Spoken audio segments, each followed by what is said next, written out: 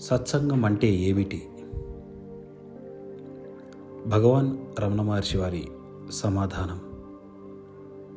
ఆత్మతో సంగమే సత్సంగం అంటే ఆత్మలో లయించడం.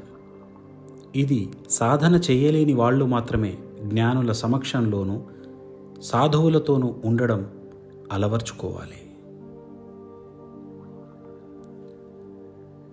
ప్రశ్న సాధు సాంగత్యం ఎలా దొరుకుతుంది? భగవాన్ రమణ మహర్షి.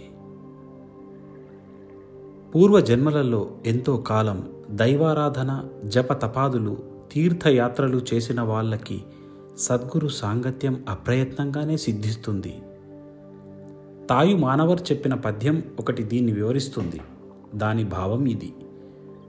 ఆ బాల గోపాల పాలక దేవతా విగ్రహాలను పుణ్యక్షేత్రాలను పవిత్ర తీర్థాలను పూజించే వాళ్ళకు సద్గురువు లభిస్తాడు సత్యాన్ని ఉపదేశిస్తాడు.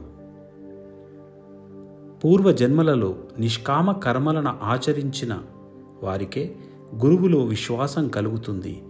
గురు బోధనల పట్ల ఇలాంటి విశ్వాసం ఉన్నవాడే ఆ మార్గాన్ని అనుసరించి మోక్షం పొందుతాడు. మామూలుగా సత్సంగం అనే మాటని జ్ఞానులతోటి సంబంధం వాళ్ళతో ఉండడం అన్న అర్థంలో ఉపయోగిస్తారు. కానీ అక్షరశః దీని అర్థం చూస్తే సత్ అంటే సత్యం వాస్తవం యథార్థం ఉనికి. కాబట్టి సత్సంగం అంటే ఉనికితో కలవడం యథార్థంతో సంబంధం అన్న అర్థాలు కూడా చెప్పుకోవచ్చు.